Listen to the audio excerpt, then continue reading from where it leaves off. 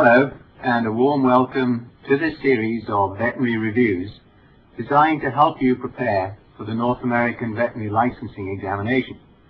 Let's uh, call that NAVLE for short. My name is Paul Gibbs, and I am Professor of Virology at the College of Veterinary Medicine here at the University of Florida in Gainesville. Together with my friend Carlos Risco, I shall be coordinating the course at the college. And I'm very pleased that we are collaborating with Nova Southeastern University in bringing this course to you.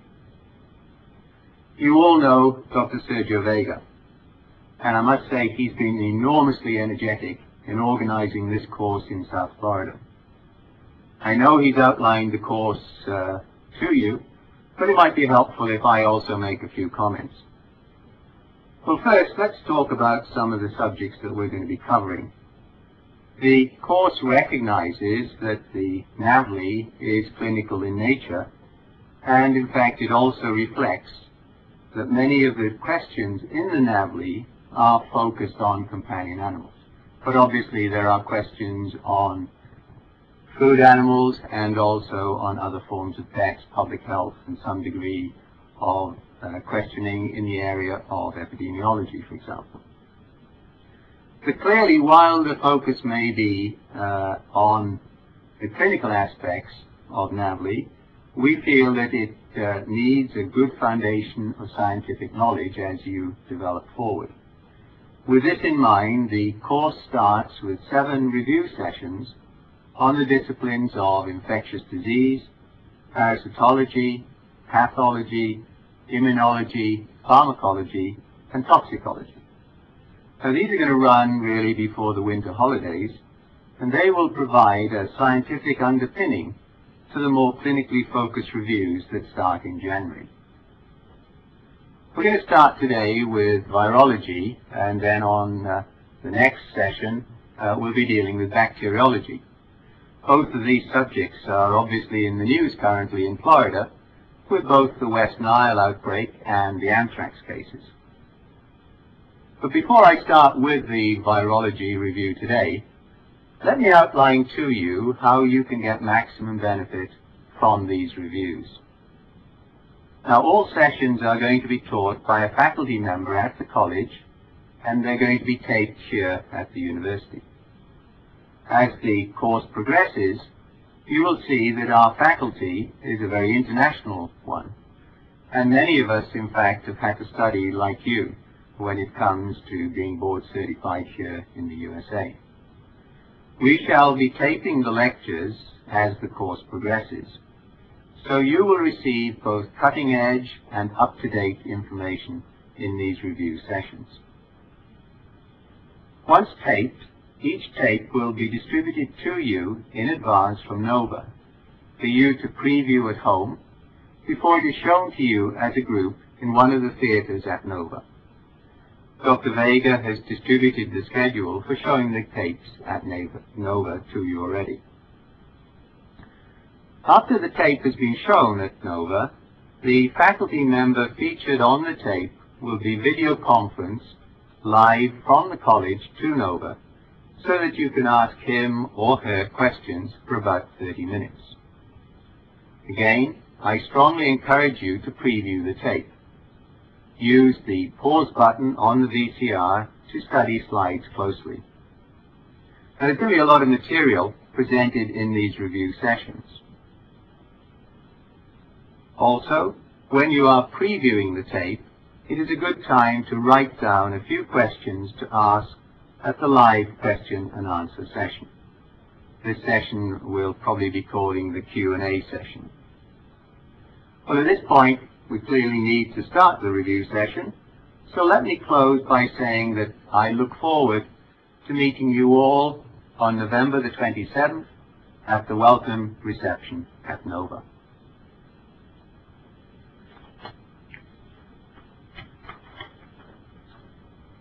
Let us now start with reviewing the objectives of this review session on virology. We're going to review the characteristics of the viruses and how they cause disease. We're going to learn a little bit about the diagnosis of viral diseases and then the ways in which they are transmitted and perpetuated. And clearly, this leads through to the control of disease through understanding their epidemiology and uh, features relative to control specifically. Now, relative to this course in general, we shall be recommending to you occasionally textbooks that may be of help to you. In the area of veterinary virology, there is a textbook. Uh, it's written by a number of us, uh, and I've had the privilege to be one of the authors, and that is published by Academic Press and was published in 1999. And you will find that the content of this review session today, in general, is going to follow the outline of the book. At this point, I want to emphasize to you that we are trying to uh, emphasize the importance of clinical features relative to virology, uh, and you will see this as a common thread throughout all the individual lectures. And for that reason, I'm going to show you a short clip now of West Nile encephalitis in the horse, because obviously this is something of interest to all of us, and it is quite possible that some questions may come up when we come to the NAVLE examination. At this point, you can see here that my colleague, Dr. Maureen Long, is examining this horse and seeing its menace reaction, and you can see that clearly we've got dull sensation here. And this is my colleague, Dr. Michael Porter, and he's testing clearly the sensitivity of the horse's head now to painful stimuli. And you can see flaccid paralysis of the nostrils and of the lips here. And at this point, he's going to be examining the muscle tone of the tongue, and as you can see here, the horse allows the tongue to remain exterior to the mouth.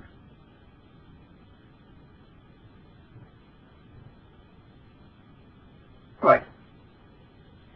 So the situation as it stands at the moment with West Nile is that we can see that the northern areas of Florida have many confirmed cases.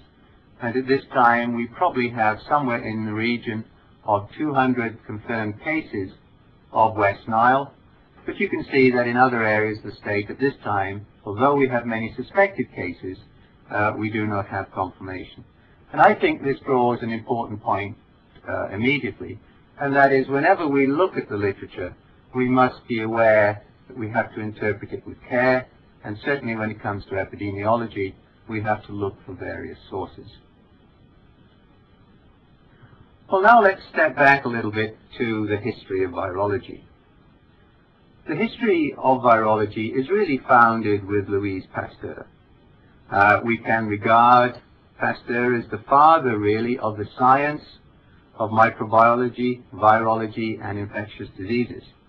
But interestingly, he started his career with the study of wine, beer, and cheese. So here is a man that clearly would fit in well with the student body here in Gainesville. But he is best known, really, for his work in developing a vaccine for rabies. Uh, and obviously, many of you who are in practice know the importance of rabies and the developments that we have seen in recent years with new vaccines. Well, what is a virus? A very simple question.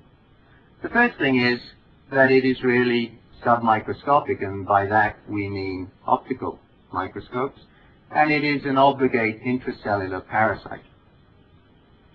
Size typically is between 20 to 400 nanometers, and they may be rod-shaped, spherical, or in fact pleomorphic. They have to grow inside cells in comparison with bacteria. Well, the particle itself, the virus particle, is really produced from the assembly of various preformed components. Virus particles, which we often call virions themselves, do not grow or undergo division, and that's an important point. They replicate. They lack the genetic information which encodes apparatus necessary for the generation, really, of metabolic energy or for protein synthesis. If we look at the virus structure itself then, there are certain features which are important and relate obviously to the ways in which we diagnose disease and how we develop vaccines. Many viruses, but not all, uh, have an envelope surrounding them. And this envelope has relevance as it allows, in many cases, the virus to gain access to the cell. And there's a practical point here, envelope viruses generally are more fragile than those without envelopes. Now, the structure of the nucleocapsid uh, is essentially shown here for an icosahedral virus. And it is formed of capsomeres on the outside, these are protein units, and within inside the capsid is in fact the nuclear material. Now we classify viruses based in fact on the nucleic acid, whether it's DNA or RNA, uh, because this provides effectively the information that directs the cell synthesis of new virus particles.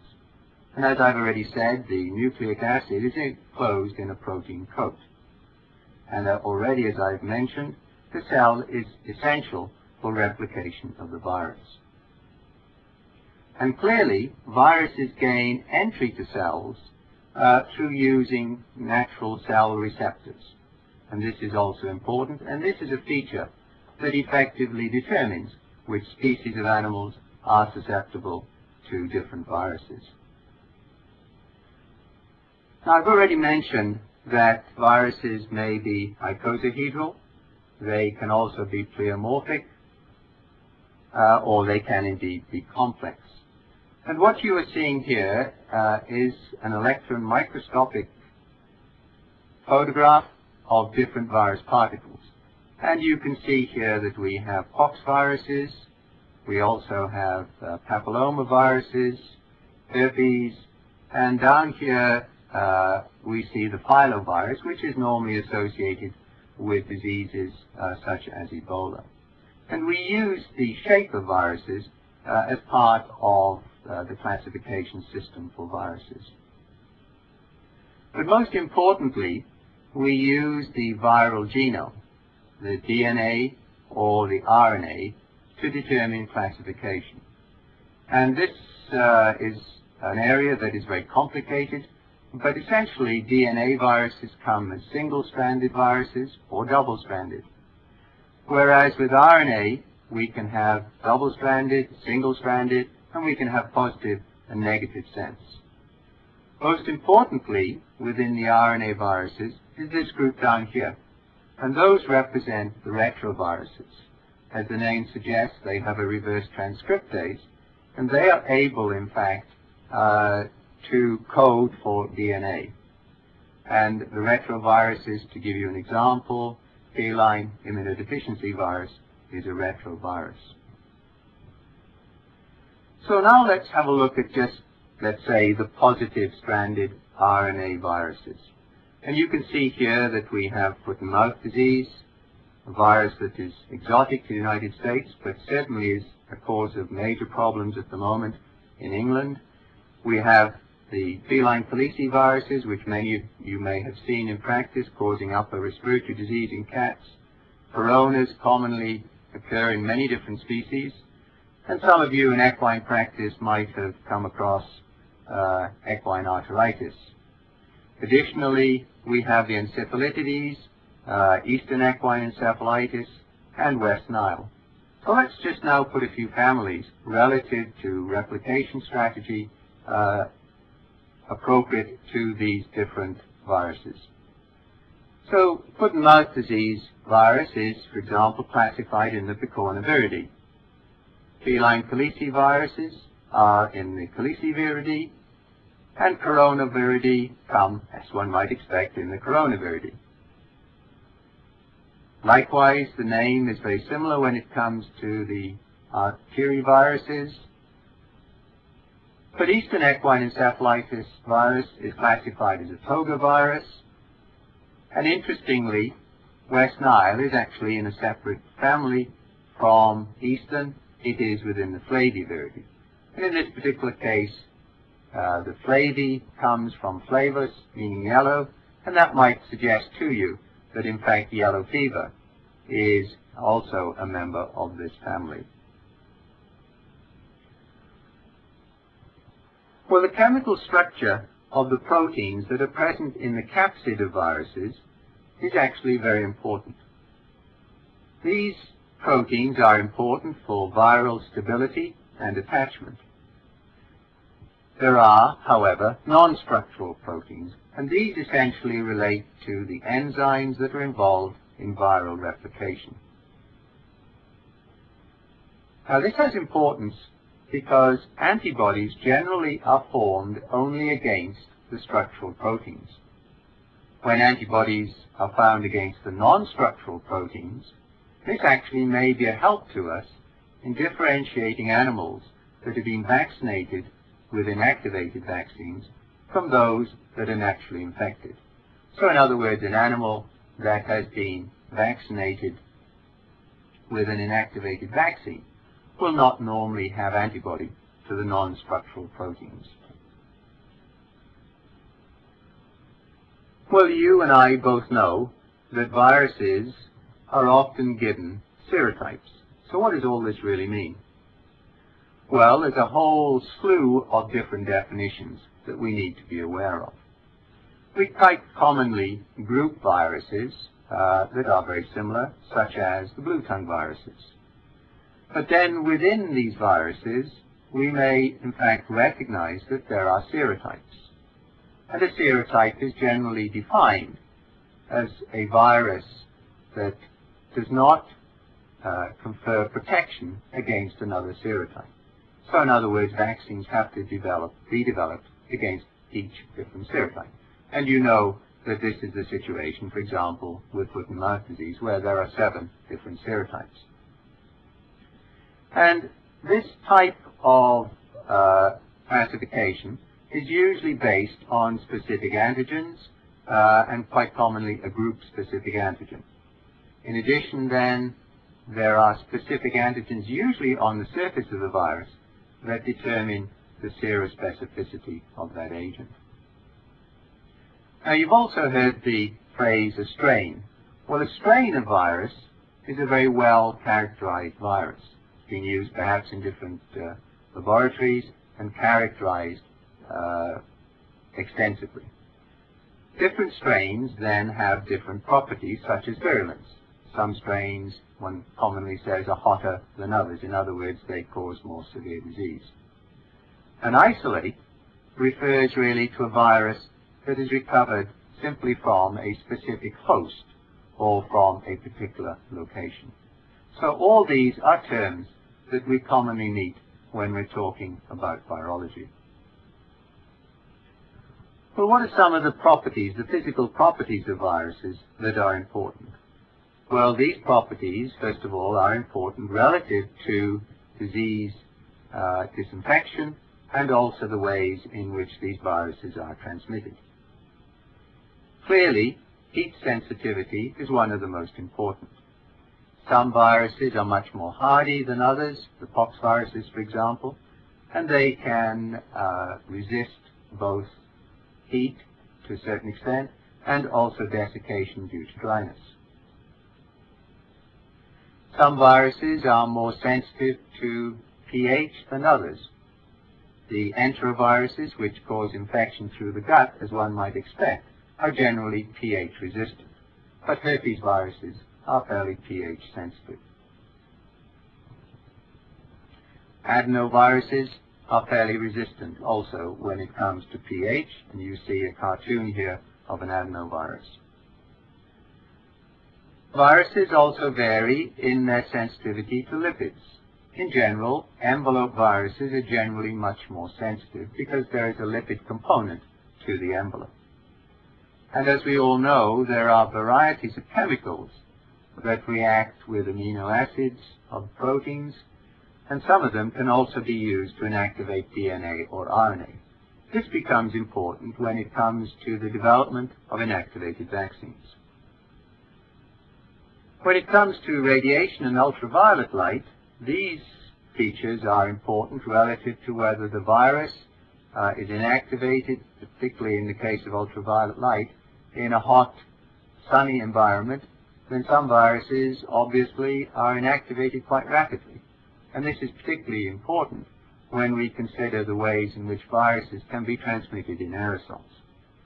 And finally, we come to humidity, and there are different viruses here that uh, respond differently. For example, if we take once again foot and mouth disease, which has been studied extensively in the way in which it uh, spreads through aerosols, we find that uh, those viruses that are well adapted to arid areas uh, do not uh, survive so well in a humid environment.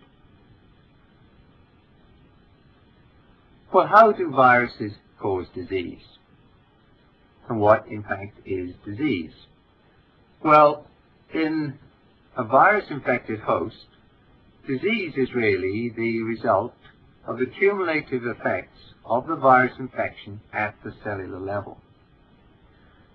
But this isn't the same for each and every viruses, because viruses cause a variety of changes in infected cells. One way in which we can study this is obviously to look at the ways in which viruses, first of all, behave in cell culture. Now on the right-hand side here, you can, of the screen, you can see that we have various photographs of teat infections in cattle. And one of these, uh, this one down here and this one here, is actually caused by bovine herpes mammillitis. Now when we take samples from the cow's teat by scraping it uh, perhaps with a scalpel and putting it into virus transport media and submitting it to the diagnostic laboratory, when we grow this virus or attempt to grow this virus in cell culture, we see that we get syncytia uh, forming in the cell monolayer. On the left-hand side here, you can see that we have an uninfected cell monolayer, and here you can see at low magnification, you've got retraction of infected cells from the glass surface, you've got some degree of stranding and syncytia development.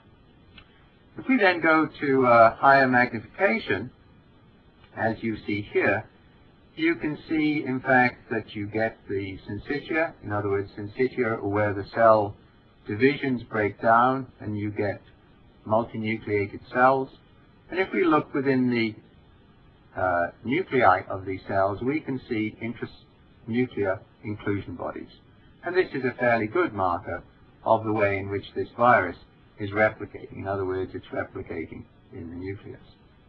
And we can then begin to relate this to the way in which viruses cause disease in the host animal. First of all, we can get acute clinical disease.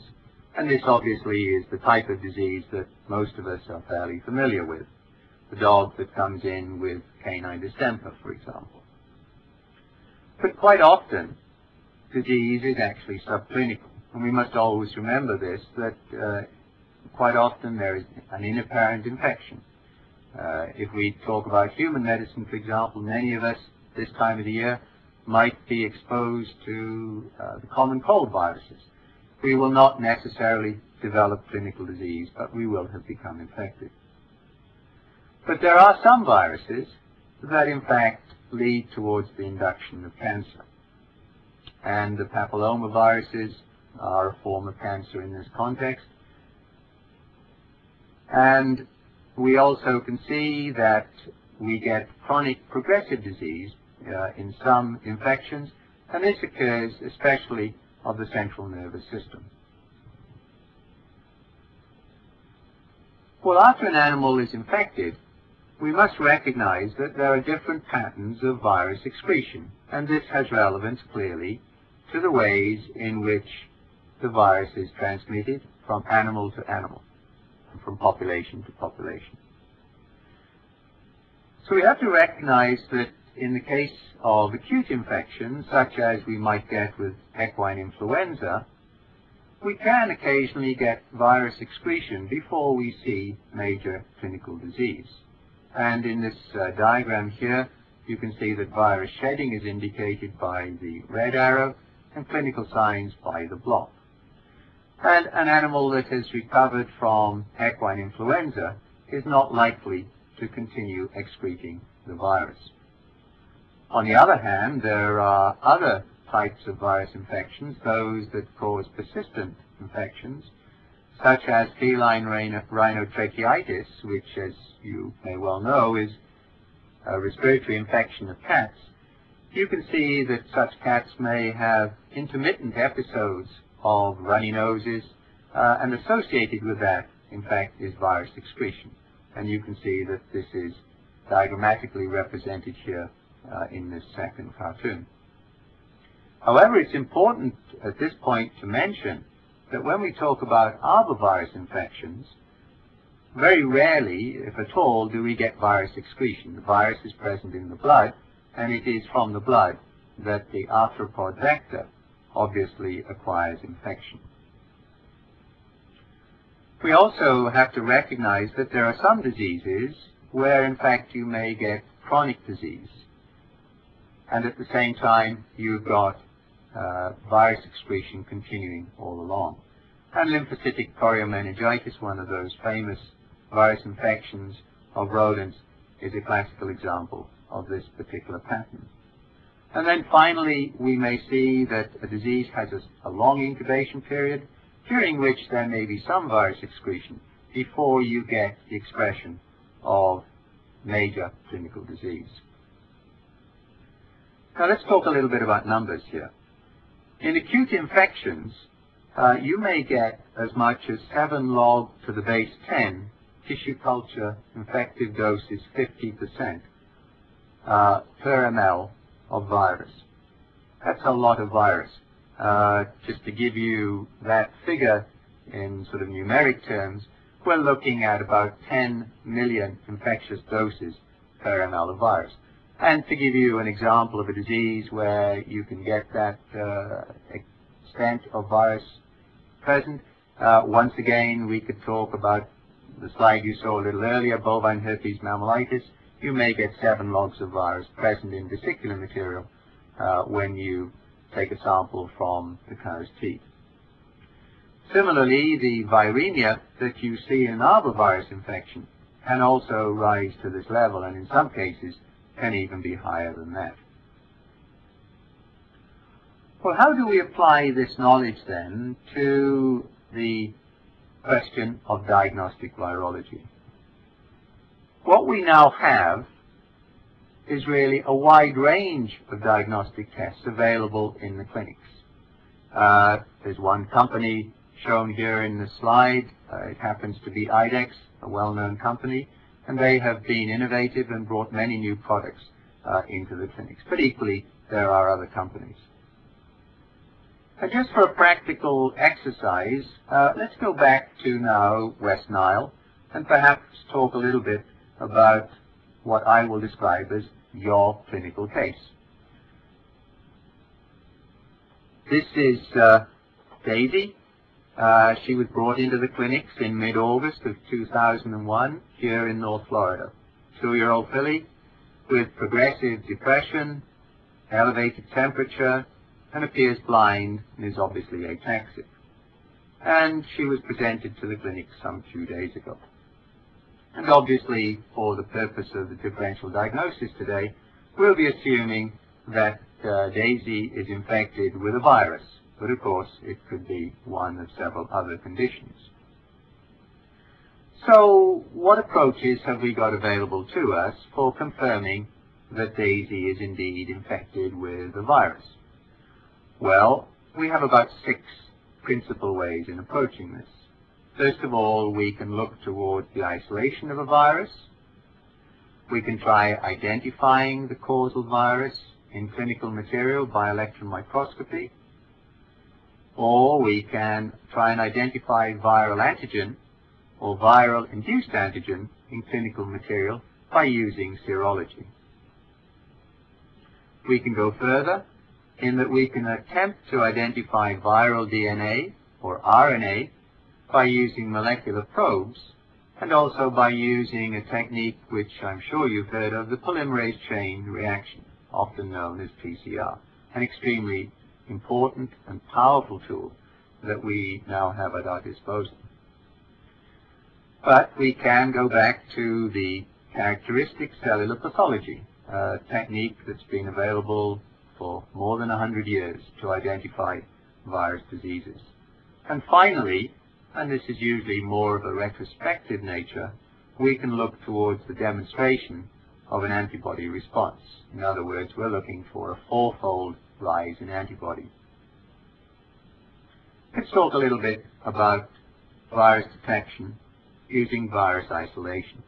And for this purpose, we will assume now that Daisy might have been infected with a herpes virus. In this particular case, we would take clinical material and we would put it onto cultured cells of equine kidney, and we would look for a cytopathic effect. And if in fact the virus grew in the cells, we would once again see a picture, as we saw earlier for bovine herpes mammillitis, that we would see intranuclear inclusions uh, within the affected cells. But we could also confirm that uh, that it was possibly a herpes virus growing in cell culture by using immunofluorescence. And for this purpose, obviously, we would be using a specific anti-herpes virus antibody. Now, in the case of diagnosis of encephalitis, the electron microscope, in all honesty, is not particularly helpful, at least uh, ante-mortem. But if it were a skin infection, then quite often we could look for the characteristic appearance of different viruses using electron microscopy. Now that's using electron microscopy to examine clinical material. Obviously we can also use electron microscopy to characterize the virus by looking at the virus isolates from cell culture. And as you saw this slide previously, you can see that we have quite characteristic morphology of some of the major groups of viruses. So this can provide us with a presumptive diagnosis. But most of you are probably fairly familiar with the approach to diagnosis using serology. And here we are picking up viral antigen. And the most common technique that we use for this approach at this time is the ELISA, which stands for Enzyme-Linked Immunosorbent Assay. So it's not an ELISA test, it is simply an ELISA. And I'm sure that many of you will be aware that there are kits within most veterinary practices that can be used using this type of technology for leukemia virus, uh, and this slide here shows witness uh, test for feline leukemia virus. In the case of looking for uh, viral antigen using serology for influenza viruses and arboviruses, traditionally we still find that the hemagglutination test is of great practical use. But let's have a look at, in fact, the ELISA test uh, and how it essentially works. Well, first of all, we have to have a capturing antibody that you can see down here. So this is directed specifically to the virus that is of particular interest to us. So the sample is then uh, added to the well in which there is a capture antibody, and subsequently, as you can see here, there is a second antibody with an enzymic color, or an enzyme associated with it, that in fact attaches then to the captured virus or viral antigen. And then by using uh, various enzymes, sorry, I'm, I'm getting that wrong, by using then uh, the substrate for the enzyme, we then in fact can realize the color. And clearly, if there has been no attachment by the detecting antibody, you won't in fact be getting a color formation. And this technology has now been sophisticated so that in fact we don't simply use wells uh, as we used to, microtiter plates now we quite often use this immunogration, immunomigration technology, And you can see that it can be used for canine parvovirus, as you see in this case here. And this gives you a breakdown of the system that is used for feline leukemia. Uh, the sample in which the feline leukemia antigen is present is allowed to migrate through a filter, and then it is moved towards the second antibody that is present here, and then excess carries on, and then this results, in fact, in reading the results where you have a positive control and you also have a positive reaction. And I'm sure that many of you uh, are in a position that you can get a hold of these tests and you can look at them quite closely and see, in fact, how they work. These tests are exceedingly valuable. I'm now talking about the ELISA tests. But for many purposes now, uh, diagnostic purposes, we are also using the polymerase chain reaction.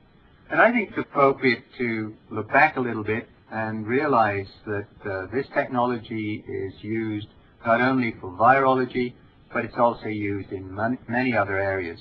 And it is one of the major techniques that we use now for molecular epidemiology, which I will be talking about a little later. And it's also used in uh, genetic recombination techniques uh, in the production of vaccines, etc. And the person who uh, developed this technique is Kary Mullis, um, a guy from uh, the West Coast, uh, very much a surfer, and he came up with the concept of the technique, and it's a very complicated technique which I won't go into detail today for you. Now, using this type of technology developed by Kary Mullis, what we find is that uh, we can in fact then begin to develop phylogenetic trees based on envelope glycoproteins, for example. And uh, what we can see here, and going back now to West Nile, we can actually see that the isolate that came from New York, which was where West Nile, as you know, was introduced to North America in 1999, has many similarities, in fact, to a virus that was isolated uh, in 1998 in Israel.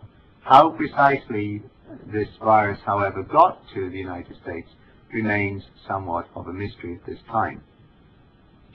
But let's come back to DAISY, and let's now look at the other more simple techniques that we can use for identifying uh, a diagnosis. And in this particular case, we can come back and we can look at histopathology. And you can see here that uh, in the gross section you can see hemorrhage. And then if we look uh, at the same tissues but uh, the histopathological appearance, you can see that we've got neutrophils here and a degree of hemorrhage.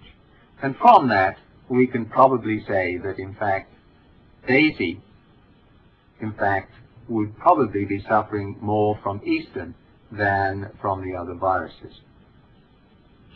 So in that context, before we go on to talking about veterinary vir uh, viral vaccines, we need to recognize, in fact, that we need to come to a diagnosis by putting together many different techniques. And obviously, the veterinary diagnostic lab is going to choose those techniques that are most appropriate to the diseases that are suspected. At this point, uh, I would like now to move on to the next area, and that is that of viral vaccines. Now, the history of vaccination, in fact, is a very long one. It starts, in fact, with Jenner.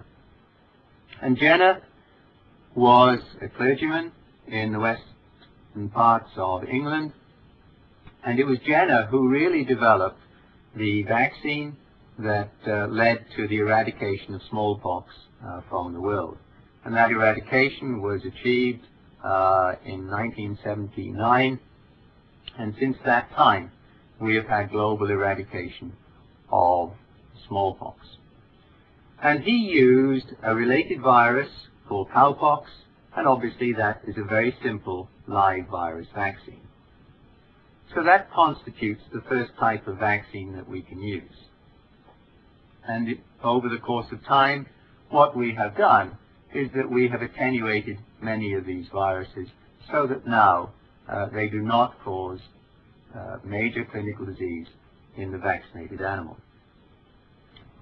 However, we have non-replicating native antigen vaccines, and obviously these are mostly inactivated. And you are very familiar, I'm sure, with inactivated vaccines and the practices that you've been associated with. We have a new generation of vaccines coming uh, available at this time, and these are vaccines that are produced by recombinant DNA technology. And quite often we may see that these use, in fact, uh, a virus vector into which other unrelated genes are inserted. And then there is a whole family of DNA vaccines which represent the future. At this time, however, there are no DNA vaccines in commercial production. And all of these different types of vaccines and, and the ways in which they are developed is dealt with in much more detail in the textbook that I referred to you earlier on. But what are the applications of today's vaccines? It may surprise you that they are in fact in use beyond simply the control of disease. Uh, one particular interesting application is within the area of contraception and sterilization. And in this particular area, we notice that in fact the vector systems using perhaps pox viruses or adenoviruses are currently being looked at. But these vaccines clearly have to be very carefully evaluated, and it is true of all vaccines that not only do we have to produce uh, good evidence that they are safe, but clearly we have to uh, recognize that we have to test them for efficacy as well. So those are the different types of vaccines that are perhaps in development. But it is appropriate, in fact, to recognize what's really on the market. With a few exceptions, most vaccines on the market today are either inactivated or attenuated. And a good example of an inactivated vaccine is Eastern equine encephalomyelitis vaccine. An example of a very interesting attenuated vaccine is feline infectious peritonitis vaccine. And you can see here uh, that we have a slide showing a vaccine produced by Fort Dodge, which is the inactivated product for Eastern equine encephalitis. And here is a product called Primucell, some of you may have come across. And this is uh, an approach to vaccinating the cat against feline infectious peritonitis a very difficult problem to vaccinate against. Well, what are the pros and cons of inactivated vaccines? Well, first of all, inactivated vaccines have the great advantage that they are stable. And provided, and this is a big provision, that the virus is completely inactivated, there is really no danger of spread from the vaccinated animal. And additionally, uh, we do not see problems with viral interference. In other words, the interference from existing viruses in these animals. When it comes to the cons, the disadvantages, we often find with inactivated vaccines that you're going to require multiple doses uh, before you can get protective immunity. Importantly, we generally do not see good local immunity or interferon produced with inactivated vaccines. And because you have to have a much higher concentration of antigen uh, to induce immunity, this often causes them to be somewhat expensive. Unfortunately, the immunity with inactivated vaccines is often very short-lived. And furthermore, uh, as I've already mentioned to you, any non-inactivated virus can indeed cause disease. To overcome some of these problems with inactivated vaccines, we will commonly see that they are in fact mixed with adjuvants. And certainly the Fort Dodge product that I was just mentioning to you for Eastern equine encephalomyelitis, it has an adjuvant incorporated into it. An adjuvant is an agent that is essentially used to enhance the immunologic response to inactivated vaccines. That's how we can conveniently define them. And they do this by causing a much slower release and degradation of antigens, and they also can work towards stimulating phagocytosis. One common adjuvant, particularly in use in human medicine, is aluminum hydroxide. Uh, but within veterinary medicine, we have uh, a much wider variety of products that we can also use. And for example, we can use ISCOMs, which are immunostimulating uh, concentrations, usually based on uh, cholesterol and other products such as that.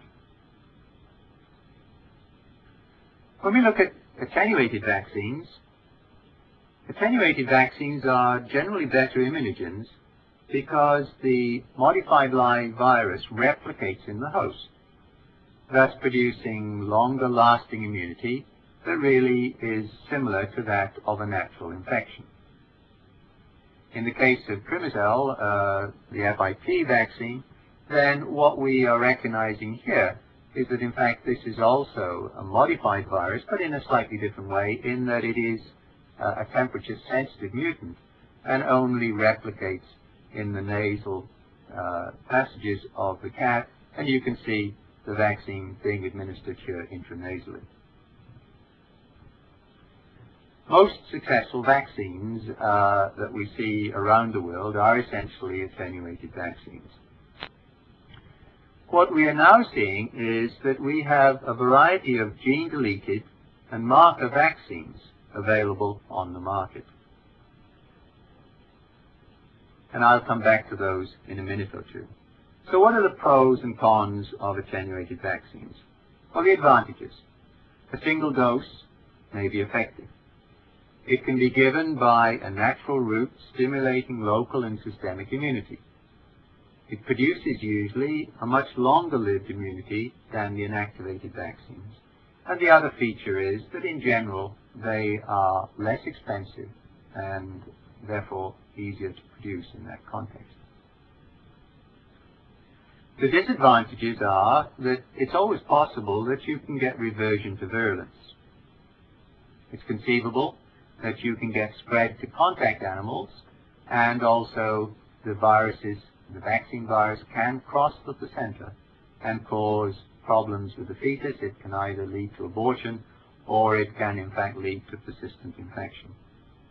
And there's also the problem that you may have contaminating viruses or mycoplasmas present uh, in your vaccine. And there have been some very unfortunate examples for example, blue tongue virus getting into canine vaccines or bovine virus diarrhea getting into uh, cattle vaccines uh, that drug companies or pharmaceutical companies have had to deal with. So there are disadvantages of attenuated vaccines.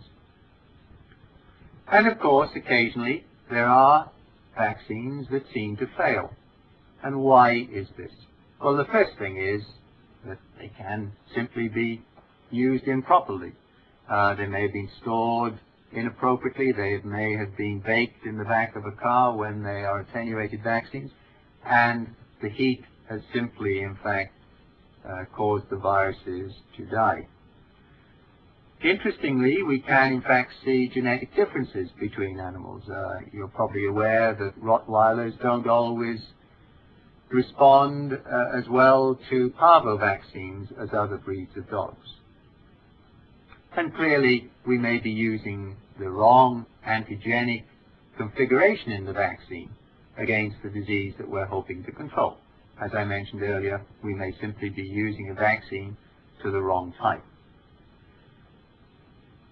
Generally, uh, we can find that blocking by maternal antibodies is, however, the major reason why probably vaccines fail. And finally, the last example here is that essentially we're administering vaccine following infection. In other words, the animal is infected, we then vaccinate it, and we consider that the animal has gone down with disease because of a failure of vaccination. That is not necessarily the case. Obviously, there is one exception where you use vaccines after an animal has become infected, and that is in the case of rabies. But let's go back and look, therefore, at the reason why many vaccines fail, uh, or at least are perceived to fail, and that is because they are used when the animal itself has maternal antibody. And obviously, we're talking here of young animals.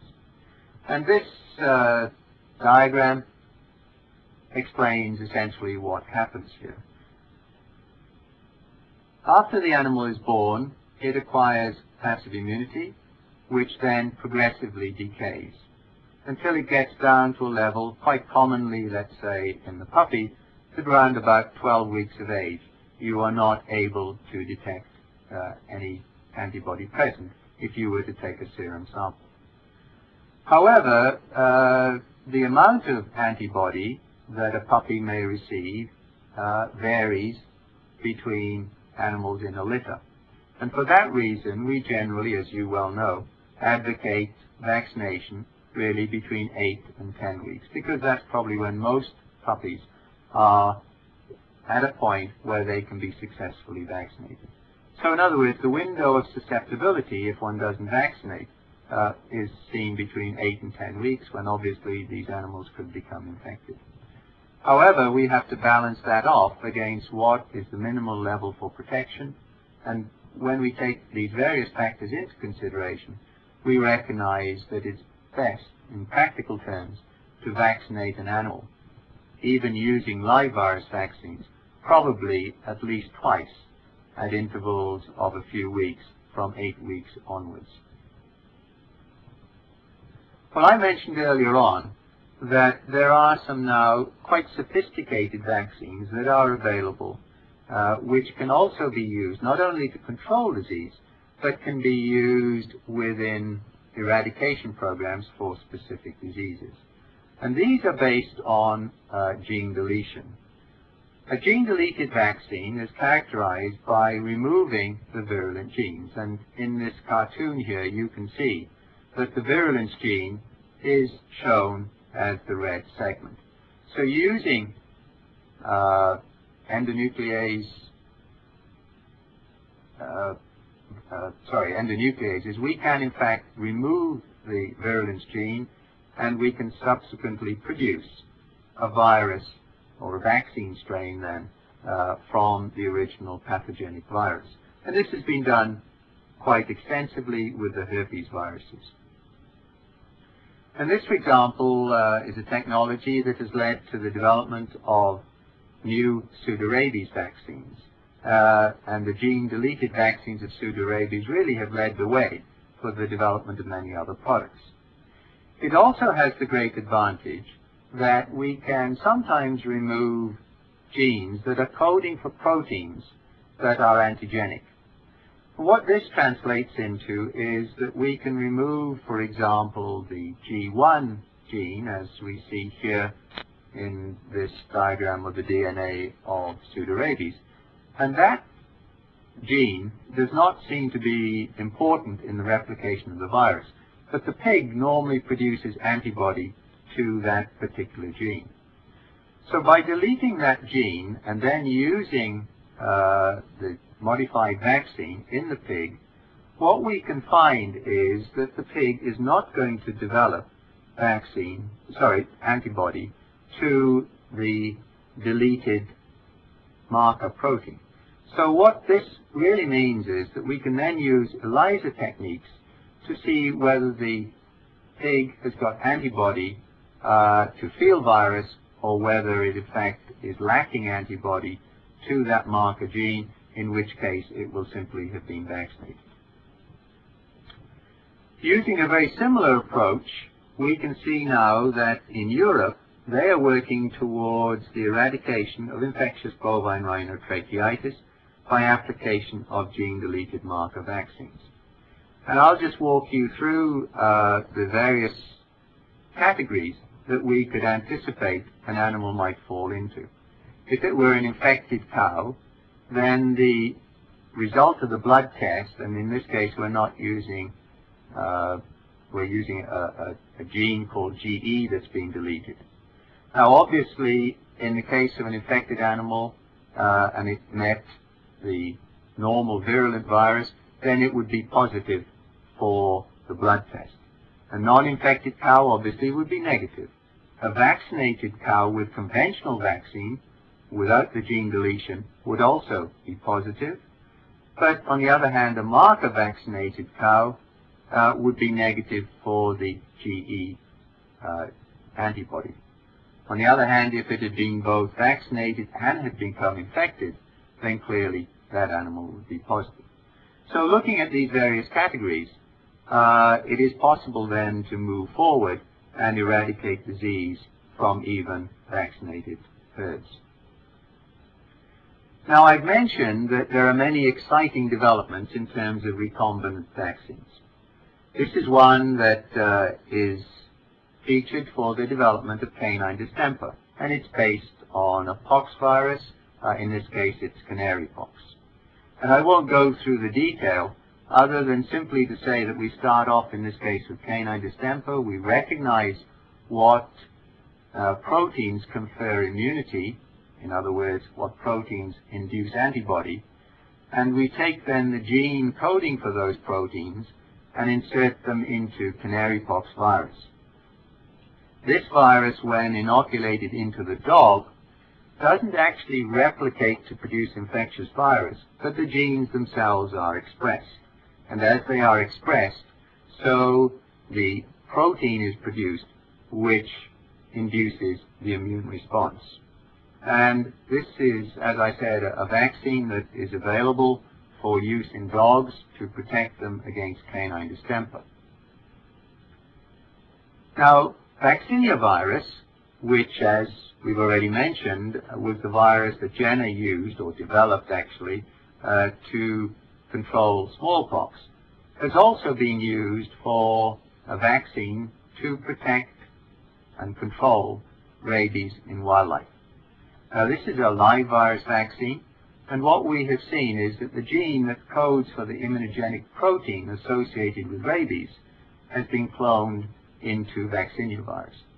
And because of the characteristics of the robustness of vaccinia virus, it's been used widely in the field as an oral vaccine to control disease in foxes in Europe and here in the United States in raccoons. At this point, uh, I'm going to now summarize some of the important areas of advancement in epidemiology because ultimately control of disease is dependent not only upon vaccines, but also understanding the epidemiology of a virus.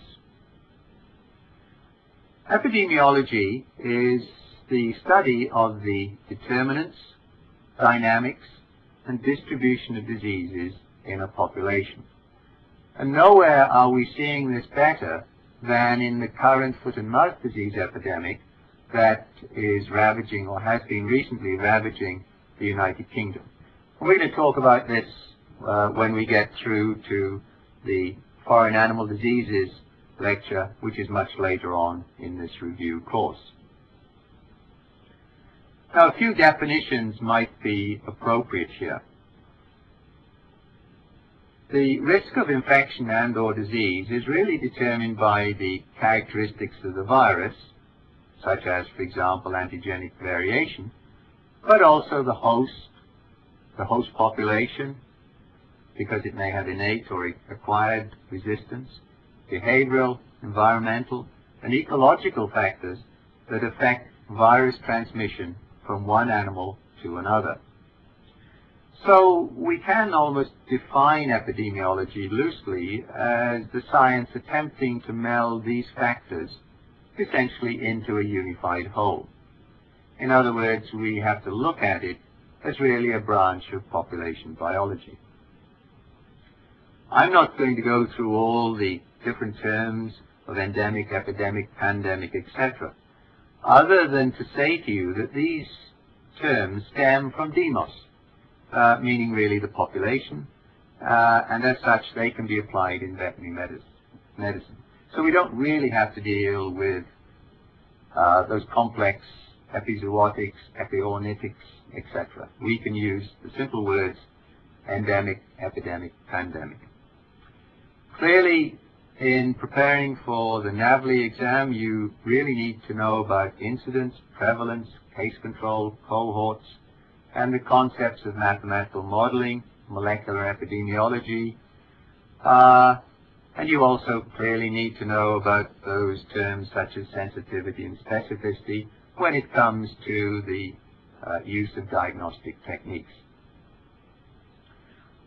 But epidemiology is really, as we've already mentioned, uh, very much focused on transmission. And we need to know the different routes of transmission of the different viruses. And for convenience here, I have picked on two cartoons looking at infection in man and the various organs that are associated with virus excretion. Now, I don't want you to really look at these in great detail, other than to simply recognize that different viruses are excreted using different routes. And if you wish, you can find the equivalent diagrams uh, in veterinary virology. It's also important, I suppose, to mention to you at this time that we must also recognize that a lot of our knowledge in virology comes from similar studies in humans, and likewise human virology often benefits from studying what in fact occurs in animals. Uh, a lot of the early work on AIDS was benefited by considerable knowledge of how these lentiviruses actually replicate in animals. Now, there is a simplistic way of analyzing, really, the mechanisms of transmission, and we can also look at this as ways in which, really, viruses are perpetuated from one generation to another. And I'm going to briefly explain to you what short cycle infection is, persistent infection, resistance to the virus to the environment, involvement of an intermediate host, and also then congenital and vertical transmission. And with knowledge of this framework, we then can relate it basically to transmission, and from which we can build up an assessment of risk, and from that, a development of control policies. This clearly leads to action in veterinary practice, but also government involvement at local, national, and international levels. So in other words, we can extrapolate in many different ways from what happens in the clinical practice to the veterinary practice to, in fact, national and international levels. Well, the first type of mechanism that we should look at is the short cycle infection. And this is what we sometimes call acute self-limiting. This is associated with viruses that have a very high efficiency of transmission. Virus excretion is of short duration to limit the reduction of susceptibles. And immunity forces variants, and this leads in some cases to antigenic shift and drift. And the classic virus that conforms to this type of mechanism is, of course, influenza. And here on the right you see some of the steps that were put in place to control influenza as it was seen in poultry at the time in Hong Kong because it was recognized that because of the antigenic shift that was occurring that this virus could cause disease in people. And influenza viruses can exhibit shift because they essentially have this opportunity to gene swap. And once again, this is something you should be aware of. It's a very complex area, uh, and you will find information of this in various virology textbooks. But what you do need to know is that quite often poultry, uh, pigs, and people form a very complex mix by which reassortants can develop, and as such they can then evade the immune response that is acquired from previous epidemics. The second mechanism that you need to be aware of is really that of persistence and latent infection. Now, we recognize that there may be prolonged periods of excretion, thereby reducing the population necessary for transmission. This type of mechanism promotes transmission from non-herding species by the venereal route.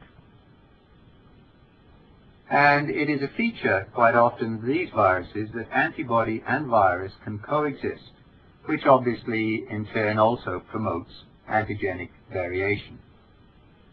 And one of the classic diseases that we are aware of here is uh, infectious bovine rhinotracheitis, a herpes infection. But we could also be talking about feline viral rhinotracheitis in a country. The next mechanism that we need to be aware of is the fact that viruses can be very resistant to the environment.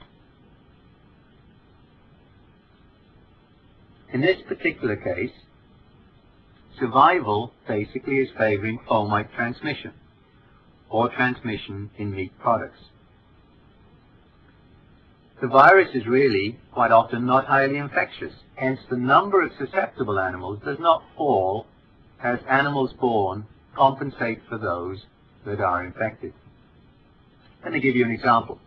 Uh, equine warts, as you see in the right-hand picture here. What we are seeing here is in fact an animal that quite easily could have acquired this infection from an infected dick or something of that nature. And in many cases, viruses are transmitted from one continent to another through the vehicle of infected meat. An African swine fever, an exotic virus here to the United States, is a good example of a virus that can be transmitted in meat products. Yet another mechanism is perpetuation through the intermediate host. Now the intermediate host is often an arthropod in which virus replicates. And that introduces the definition of biological transmission. Biological transmission is used to describe, in fact, the route of transmission which involves an arthropod in which the virus itself replicates, as opposed to mechanical transmission, which simply refers to the transfer of virus, say on the mouth parts of a biting insect, as opposed to replication. And obviously when the virus replicates in an arthropod, then it is transmitted through the salivary glands.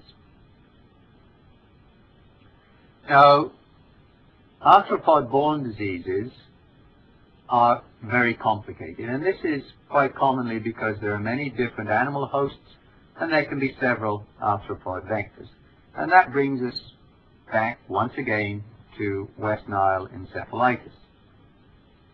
What we're seeing with West Nile is that the virus cycle essentially features birds, and in this case it is in large part a silent cycle. In other words, there is no clinical disease seen in the majority of the birds. There is an exception to that in the case of West Nile, and that is the crow, and the crow seems to develop a highly lethal infection and we use that as an indicator host. Clearly, the levels of virus in the birds, in terms of levels of virus in the blood, in the viremic stage, can be very high so that different species of mosquitoes can in fact become vectors. When the virus uh, is introduced to humans, or to the horse, or to other mammals, then in many cases there is no virus replication to the extent that there is a viremia that can infect further mosquitoes. And in this context, we consider these hosts as dead-end hosts. Doesn't mean to say they don't develop clinical disease. It simply means that in terms of the perpetuation of the virus, then uh, the virus has reached a dead end. Finally, there is the fifth mechanism by which viruses perpetuate themselves, and that is through congenital or vertical transmission. Now, the virus may be transmitted transplacentally without necessarily causing either death or fetal abnormalities. Indeed, if the virus crosses the placenta and infects the, the fetus before the immune response has developed, it may in fact be recognized as self. In other words, immune tolerance has been induced. And within this context, bovine virus diarrhea is one of the classic examples. In this photograph here on the right, you can see actually a number of steers, uh, four of which are normal size and one very small. Yet all of these are in fact infected with BVD. It is simply that the virus infected them at different stages in terms of the immune response. And this diagram shows you the complexity of bovine virus diarrhea in terms of the way in which this virus is perpetuated and the ways in which it can cause clinical disease, significant clinical disease, uh, quite often in a dairy herd. Finally, uh, I would like to talk a little bit about epidemiological modeling. And once again, the current epidemic of foot and mouth disease in the United Kingdom is showing us the value of this type of modeling. And once again, it relates to transmission. You can see uh, here that the virus spread very rapidly in the first few weeks in Britain so that many farms were affected throughout England, extending into Scotland and also into Wales. And on the right here, you see from the index case, which occurred up here in Northumberland, you can then see epidemiological linkage of what outbreaks appeared to be related to what movements. But the ability of a virus to spread, such as we saw there, from farm to farm, in other words, from animal to animal, is based on the basic reproduction number that we see uh, associated with a virus. So what does R0 really mean, or RO? It's defined as the number of secondary cases arising from a single primary case. And obviously, this represents the critical threshold. If the basic reproduction rate is obviously less than 1, then infection will die out. And using this basic concept and then applying movement controls, slaughter policies, etc., the scientists in Britain came up with model that helped them in terms of their policy as to, in fact, what they should do relative to slaughter, whether they should slaughter out contiguous herds or only infected herds.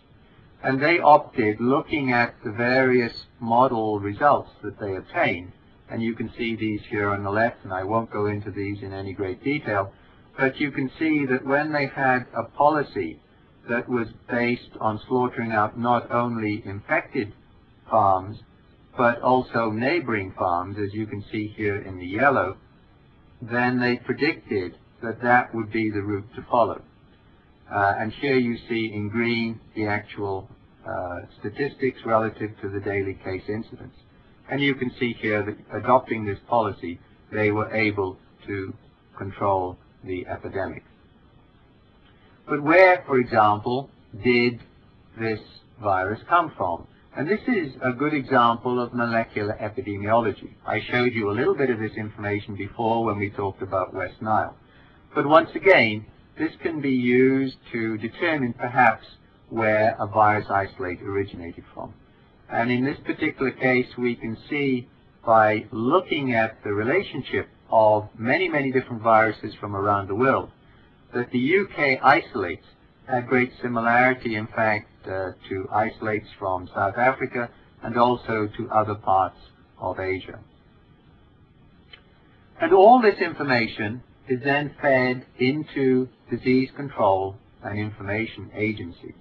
And here in the United States, clearly we are dealing uh, with both federal and state offices that are associated with disease control policies.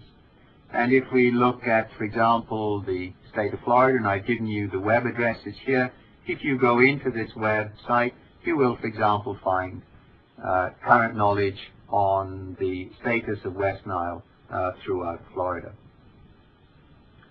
Well, this has been a, a very intensive short course in virology. Uh, I'm sure that you will probably want to review this tape once or twice. But I hope that it has provided you with some of the basic understanding of viruses and the diseases they cause so that you can interpret the more clinical review sessions that will be coming up uh, starting in January. Thank you very much.